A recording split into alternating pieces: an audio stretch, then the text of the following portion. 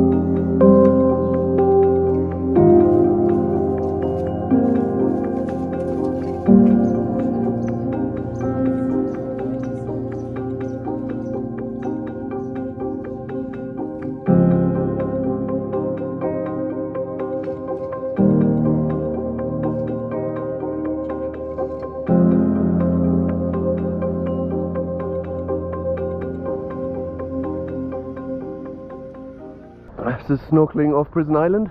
Nice little dhow sailing past. Oh, it's beautiful. Water's about 26 degrees.